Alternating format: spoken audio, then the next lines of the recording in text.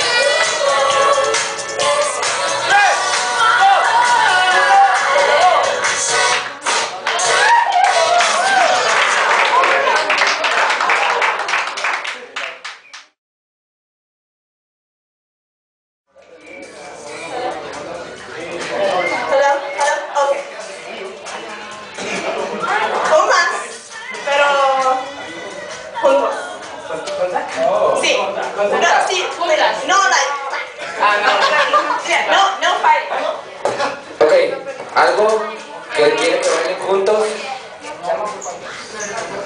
O sea, no full contact, o sea, no que traten como de tocarse y golpearse, sino que al mismo tiempo hablar, interactúen sin al grado de ya de Ok, tocarse, tocarse.